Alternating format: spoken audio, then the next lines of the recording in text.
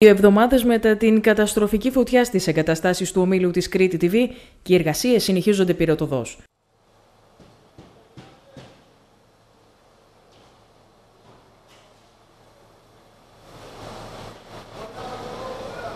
Η εικόνα της αίθουσας τύπου, των γραφείων των δημοσιογράφων της Κρήτη TV και της εφημερίδας Νέα Κρήτη, σήμερα δεν θυμίζει σε τίποτα την εικόνα πριν το ξημέρωμα της 28ης Ιουλίου.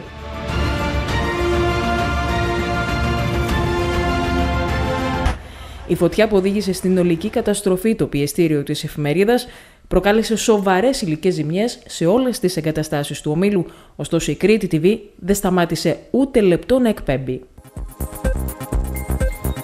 Καλησπέρα σας κυρίες και κύριοι. Παρασκευή 28 Ιουλίου και η σημερινή μέρα είναι εξαιρετικά δύσκολη για τον όμιλο της Κρήτη TV όπου και η νύχτα που προηγήθηκε οι εργασίες αποκατάστασης των κτηριακών υποδομών είναι ιδιαίτερα απαιτητικές. Ωστόσο, η διοίκηση είναι αποφασισμένη αυτές να ολοκληρωθούν όσο το δυνατόν πιο σύντομα.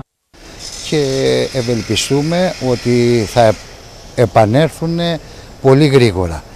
Εξάλλου υπάρχουν άνθρωποι, γιατί αυτό για κάποιους είναι κόπος ζωής, που μπορεί να γονατίζουν, αλλά είναι τόσο δυνατοί που ξανασηκώνονται και ξανασηκώνονται δυνατότεροι. Εύχομαι λοιπόν στην επιχείρηση στο Όμιλο, γιατί το χρειαζόμαστε και σαν Ηράκλειο, για την ενημέρωση των Ηρακλειωτών. Στις εγκαταστάσεις του ομίλου της Κρήτη TV βρέθηκε σήμερα ο πρόεδρος του Εργατικού Κέντρου Ηρακλείου, διαπιστώνοντας και ο ίδιος το μέγεθος της καταστροφής, συγχαίροντας ωστόσο διοίκηση αλλά και εργαζόμενους για την προσπάθεια που καταβάλουν από τις πρώτες κιόλας ώρες μετά την καταστροφική φωτιά, ενωμένοι και απόλυτα αποφασισμένοι για δυναμικότερη συνέχεια. Ζημιές οι οποίες είναι πολύ μεγάλες. Παρόλα αυτά και μέσα από τις δυσκολίες φάνηκε όμως ότι λειτουργεί σαν οικογένεια. Και αυτό το είδαμε με την ανταπόκριση την άμεση από την πρώτη μέρα, από την πρώτες ώρες των εργαζομένων που δεν έχουν φύγει, φύγει αλλά και από την άλλη μεριά, σύμφωνα με την πληροφόρηση που έχουμε και οι δύο χτίτες έχουν συμπεριφερθεί άψια στους εργαζόμενους. Βλέπουμε μια επιχείρηση που παρότι πέσει τέτοια ζημιά, κανένας εργαζόμενος δεν έχει χάσει τη, τη δουλειά του.